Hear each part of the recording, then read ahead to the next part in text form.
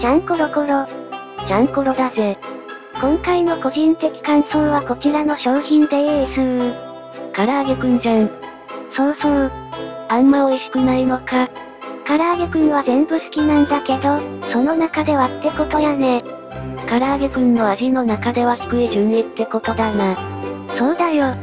塩レモンのパッケージ、にのり塩って手書きかよ。なんでだろうね、わら。お店の都合だろ。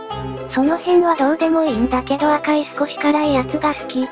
レッドもいいけど、レギュラーも捨てがたいよな。うん。でも、普通の唐揚げの方がうまいんだけどね。4個入りとか単品で買えるやつだろ。うぬ。まあうまいよな。普通の唐揚げはおかず、唐揚げくんはスナックなんだよ。なんとなくわかるわ。そしてもう何も言うことない。もっと頑張れよ。味はねー、のり塩って感じでレッドの方が好きなんだよねー。レッド買っとけよ。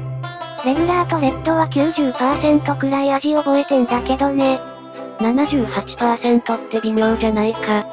目安は動画概要欄に書いてあると思うけど、この数値ならまあ覚えてますよ。本当かよ。オッケーオッケーすよ。50%以下じゃなければほぼ覚えてるよ多分。それ以下も紹介するんだろこれから。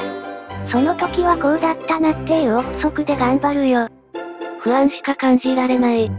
任せとけ、ドーンと泥船に乗ったつもりでね。沈むだろタイタニックでいいよなら。沈んでるしよーし、次回も頑張るぞ。次回が怖い。ご視聴ありがとうございました。あー腹減った。